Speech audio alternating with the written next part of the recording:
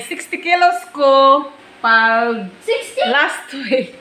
So, karon kinahanglan ta mag magbawas og timbang kay migain ko og 10 kilos dayon in one month. Ah, ilagay let's ko 5 start. kilos in one day.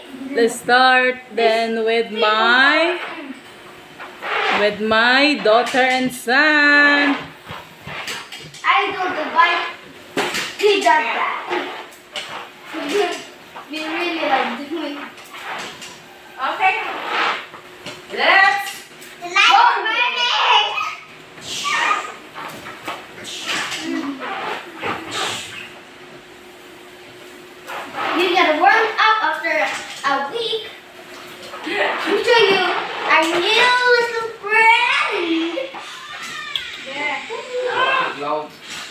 Look at my new friend. His name is.